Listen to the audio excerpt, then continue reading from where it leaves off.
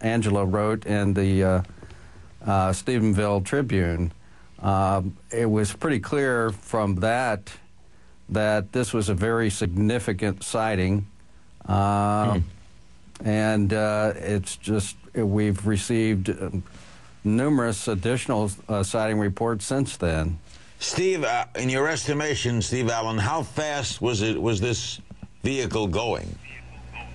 Uh, when we first saw it, Larry, I think it was probably running around two to 3,000 miles an hour. It's hard to judge. Uh, coming at us very fast, but it was gradually slowing down. Like I said, by the time it got into Stephenville, it came basically came to a complete stop. Stan, how could something move that fast and make no sound? Because you control the flow of the air around the boundary layer. We know how to do that with the magneto. I'm sorry for the word, but a magneto aerodynamic uh, control system. And uh, there is a lot of classified te technology about that. I had a literature search done many years ago, and we got 900 references to magneto aerodynamic research. 90% were classified. Claudette, does this make you more frightened now than before this incident? Are you frightened now that you've seen this? Oh, no, not at all. I'm just uh, real curious as to what it was. So if the government, uh, if the government is covering up something based on fear, that's unwarranted. You're not afraid. No, I'm not afraid. Angela, you didn't see it. Do you believe it? well, maybe it is seeing is seeing is believing. But uh, when I when I got the calls after doing the first story, I did get a little spooked. I thought, oh my gosh, this is bigger than than what I even dreamed it could be. So it was a little spooky when I started hearing all the accounts, and uh, I, uh, I, I believe it has made uh, made me take more notice of, of UFOs and, and exactly what's going on around me. I'm I'm looking up in the sky now. James Fox, in all the years we've been hearing about this and stories about this, how come? Logically, do you think? How come? We've never met, met one of these aliens. Nothing's ever come forward. Nothing.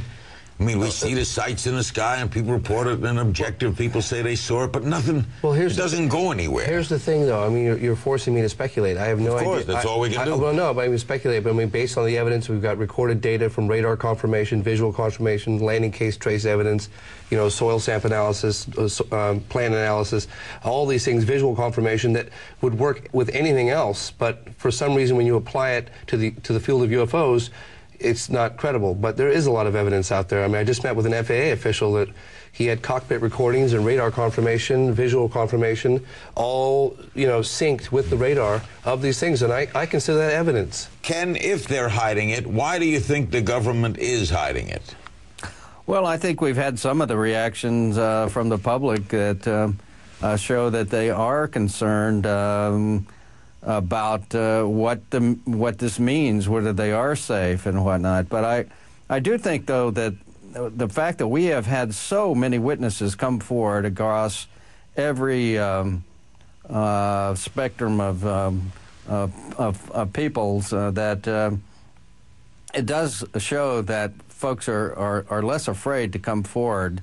Uh, we've had uh, ranch owners, business owners, uh, highly respected people in the community that have come forward and said, you know, we have seen these things in the past uh, in this area, and we were afraid to come forward. And I think with responsible journalism like you have done, and no small part, uh, people are less afraid to come forward. But fear, I guess, is the number one reason yeah. why uh, this has been held back from the public. We'll take a break, and when we come back, we'll ask why not pilots? Responsible people. Why don't we hear from them? Don't go away. They were dancing around and they were flickering, uh, but they weren't just doing this. They were like just moving. You know, like a light show. Like for yeah, similar to a light show. I'd say it was a half a mile wide and about a mile long. It's humongous, whatever it was.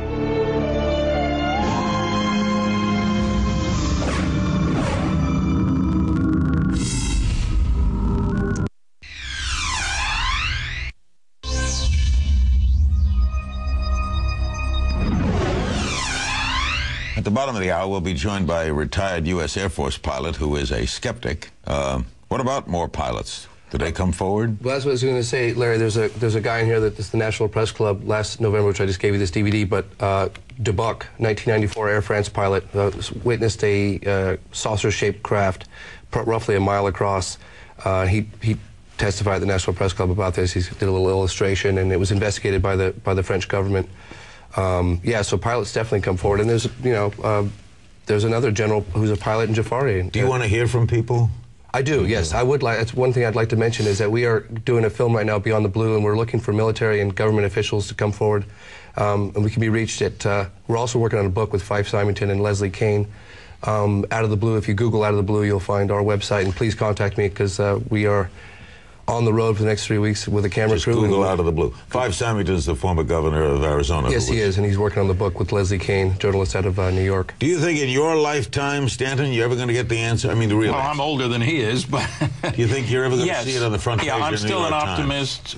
Yeah, I, I think so, Larry. I think truth will out. It may take a long while. This year has seen a big change in press attitudes.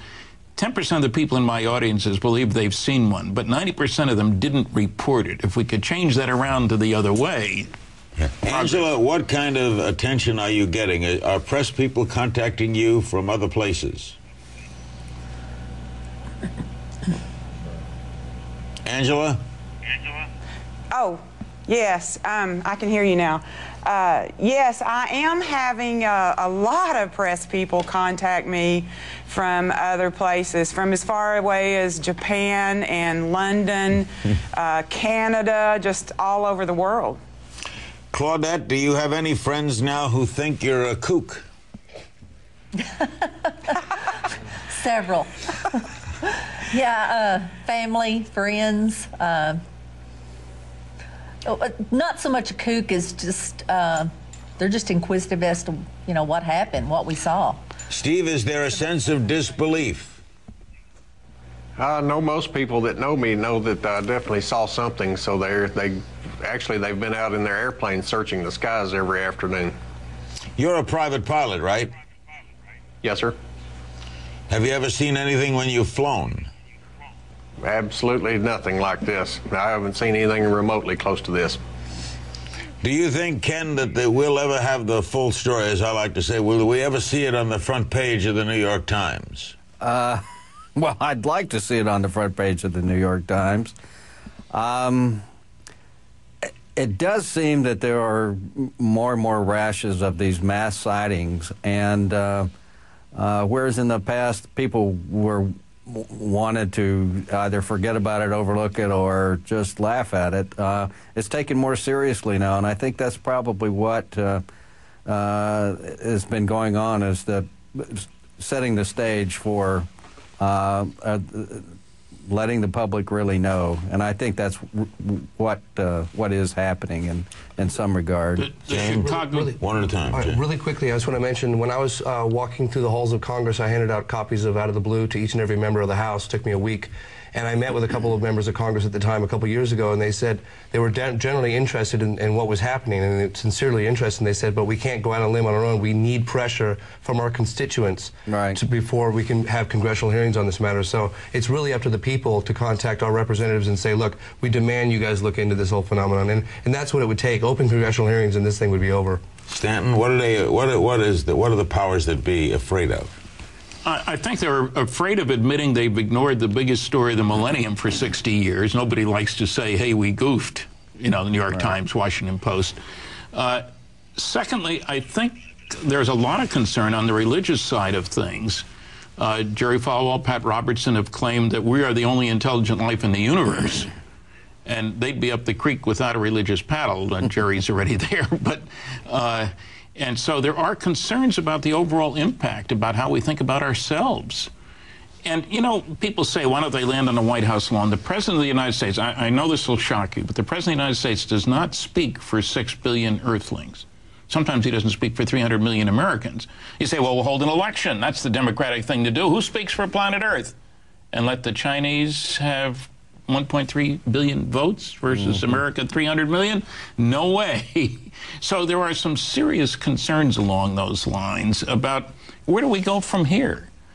You know, we're, we're a planet where nationalism is the only game in town. I don't need to tell you that.